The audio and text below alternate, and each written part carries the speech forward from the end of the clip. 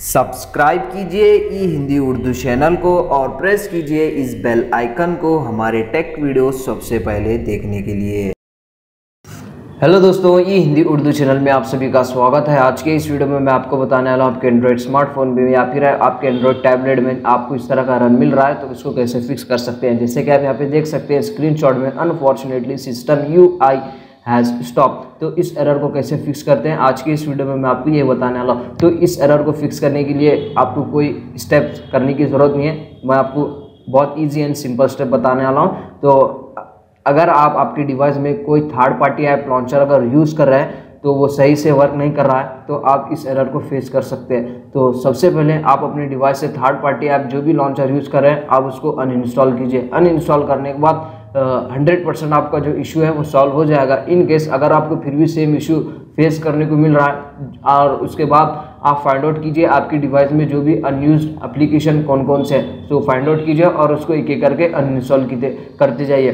सो उसके बाद आपका 100 परसेंट इशू जो है वो सॉल्व हो जाएगा। इन केस अगर आपको फिर भी सेम इशू फेस कर रहे हैं तो ये स्टेप फॉलो कीजिए। ये सिंपल सा स्टेप्स है। तो ये करने की आपको ज़रूरत नहीं पड़ेगी। जैसे आप थर्ड पार्टी आप लॉन्चर अनइंस्टॉल करेंगे आपका एरर जो है सॉल्व हो जाएगा। अगर आपका एरर फिर भी सॉल्व नहीं होगा तो ये स्टेप फॉलो कीजिए। सेटिंग्स में आइए ऐप्स में आइए। और यहाँ पे स्कॉल कीजिए ऑल ऐप्स में आइए। ऑल ऐप्स में आने के बाद यहाँ पे आपको कुछ नहीं करना है। सो कुछ फ़ोन में टॉप राइट साइड में थ्री डॉट्स देखने को मिलते हैं और कुछ फ़ोन में होम साइड का जो लेफ़्ट बटन रहता है नेविगेशन बटन तो जस्ट उसको प्रेस करना है और रिसेट ऐप प्रेफरेंसेस पे क्लिक करना है। और यहाँ पे रिसेट ऐप पे क्लिक कीजिए। इससे क्या होगा? सारे एप्लीकेशन से कैचेस जो है, एक ही टाइम एक साथ क्लियर हो जाएँगे। आपको एक एक करने की ज़रूरत नहीं है। तो ये काफ़ी अच्छा फीचर है। तो करने के बाद एक मरतबा आप अपना फ़ोन जो है रीस्टार्ट कीजिए। रीस्टार्ट करने के बाद आपका इशू जो है वो सॉल्व हो जाएगा।